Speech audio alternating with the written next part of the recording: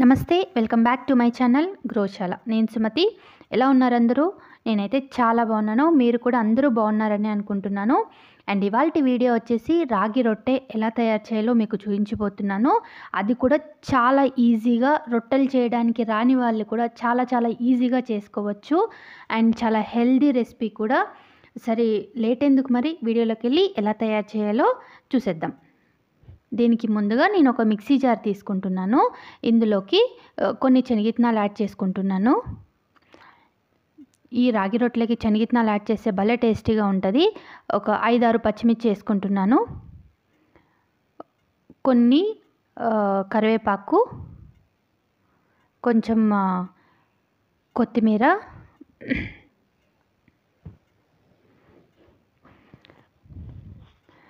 టేస్ట్కి సరిపడా salt add చేసుకోండి.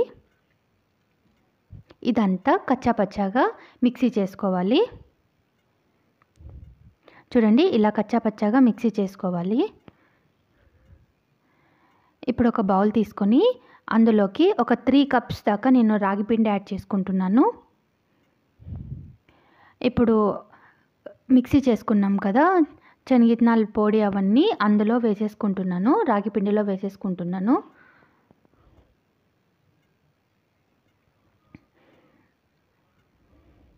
ఇప్పుడు ఒక పెద్ద మీడియం పెద్ద ఆనియన్ కట్ చేసి పెట్టుకున్నాను. చిన్నగా ఇలా కట్ చేసి యాడ్ చేసుకుంటున్నాను. ఒక two to three tablespoons దాకా ఆయిల్ యాడ్ చేసుకున్నాను.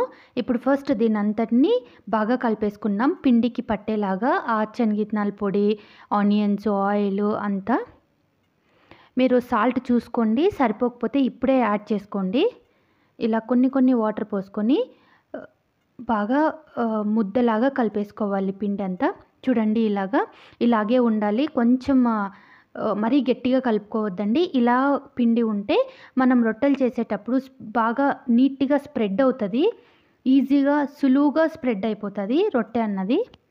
సో ఇప్పుడు దీన్ని కొద్దిసేపు పక్కన పెట్టేద్దాం. ఒక టెన్ మినిట్స్. నేను ఒక పెనం తీసుకున్నాను రొట్టె తట్టుకోవడానికి. ఇలా చేసుకుంటే రొట్టెలు చాలా ఈజీగా అయిపోతుంది. కొంచెం ఆయిల్ పట్టించేసుకున్న పెనానికంతా ఒక గిన్నెలో వాటర్ పెట్టుకోండి పక్కన. ఇప్పుడు ఒక కొంచెం ముద్ద తీసుకున్నాను రాగిపిండి ముద్ద.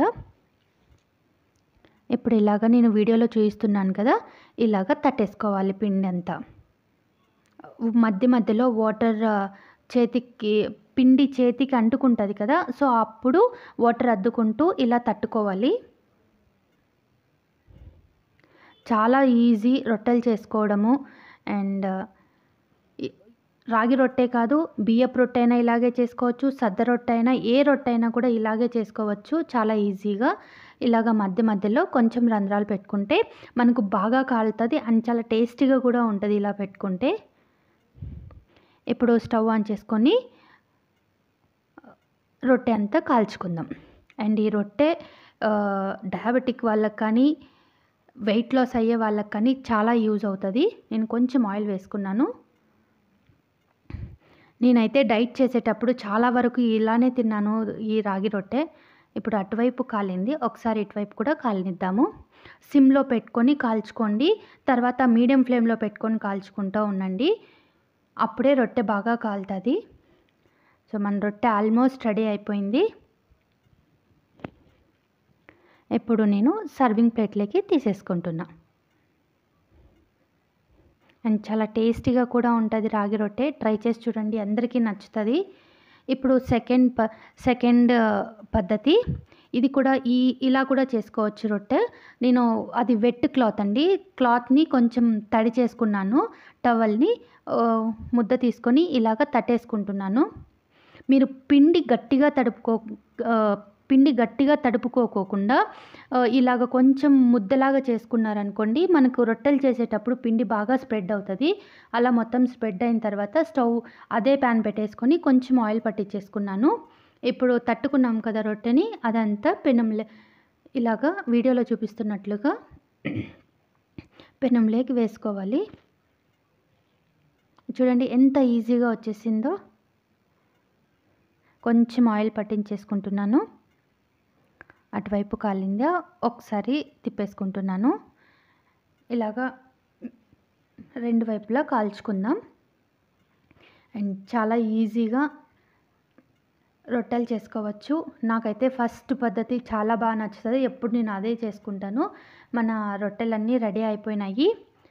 చాలా టేస్టీగా స్మూత్గా కొంచెం క్రిస్పీగా చాలా టేస్టీగా ఉంటుంది. ట్రై చేసి చూడండి. మీ అందరికీ నచ్చుతుంది.